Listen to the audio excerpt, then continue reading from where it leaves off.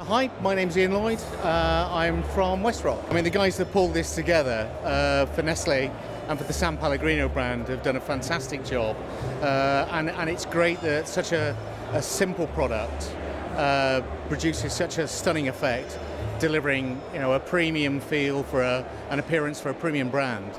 And uh, you know, a, a great looking product, which is really important, and something that's so sustainable. Great job, guys. Thank you very much. And thank you to ECMA for recognizing this product. Superb. Thank you.